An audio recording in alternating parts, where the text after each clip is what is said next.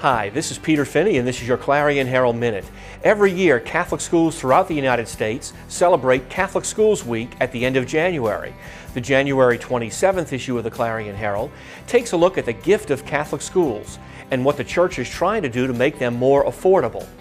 More than 500 Catholic school students from across the Archdiocese participated in the annual March for Life in Washington, D.C. We have reflections from students about how the pilgrimage deepened their faith and commitment to life. Read the fascinating story about how a Vietnam veteran, who's now a permanent deacon, was reunited with a St. Christopher medal he gave to his best friend, a helicopter pilot who died in Vietnam but whose Catholic faith was an inspiration. Archbishop Emeritus Alfred Hughes delivered a tricentennial lecture on the holy men and women who have walked the streets of New Orleans over the last 300 years.